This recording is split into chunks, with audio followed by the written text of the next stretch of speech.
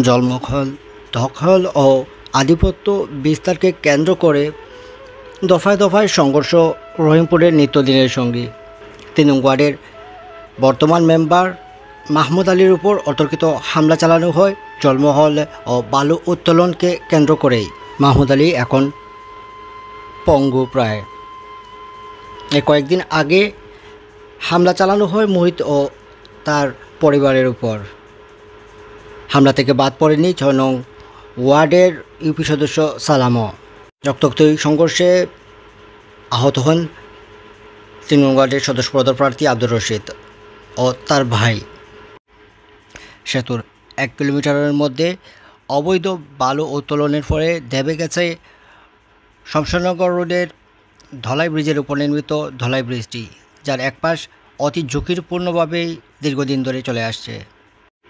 রহিমপুরের এমন রক্তক্ষয়ী সংঘর্ষের জন্য দায়ী করা হচ্ছে প্রশাসনকেই।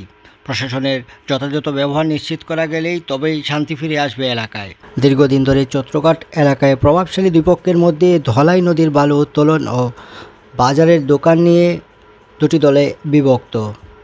জলমহাল ধকাল নিয়ে দেড় মাসে রহিমপুর ইউনিয়নের দুটি পক্ষের মধ্যে তিনবার রক্ষকই সংঘর্ষ সংগঠিত হয়। থানায় এ নিয়ে বেশ কয়েকটি মামলা রয়েছে। কিছুদিন আগে নাজমুল এবারের নির্বাচনে ইউপি সদস্য পদে অংশ নেবে বলে এলাকায় ঘোষণা দেন। পূর্বের বিরোধ ও নির্বাচনের প্রার্থিতা নিয়ে হামলার ঘটনা ঘটেছে বলে তিনি ফেসবুক লাইভে বলেন।